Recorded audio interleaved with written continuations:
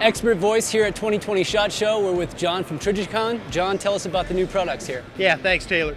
We've rolled out six new families of rifle scopes. We're going to start with our Huron and Ascent, with Huron targeting the hunter, Ascent, your range shooter or tactical shooter. But for our first for Trijicon, this is a non-illuminated scope. Same quality glass, same quality coatings, or the exact same coatings, but same hydroform aluminum bodies, adjusters, everything that Trijicon's known for in terms of quality, reliability, and durability, no illumination. Got it. You know, these, during the design phase, are all subjected to the same military grade testing, which is an 810G protocol, and, that holds true across the line. So moving up from there, we get into now LED illumination with the Credo and Credo HX, with HX targeting the hunter and Credo more of your competitor or range enthusiast.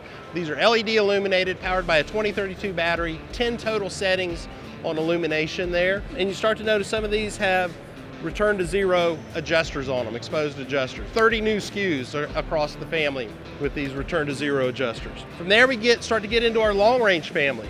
We have the Tenmile HX here, um, targeting the hunter, and all of our hunter targeted scopes um, are going to be in a satin finish, or if it's range application in, in this matte finish. We have five total SKUs in the HX, 12 in the Tenmile, this is where you start to get into more complex reticles, a mix of first and second focal plane, and a mix of MOA and MRAD based um, adjusters. And you kept the AccuPoint. And then, of course, we kept the AccuPoint. AccuPoint is our flagship.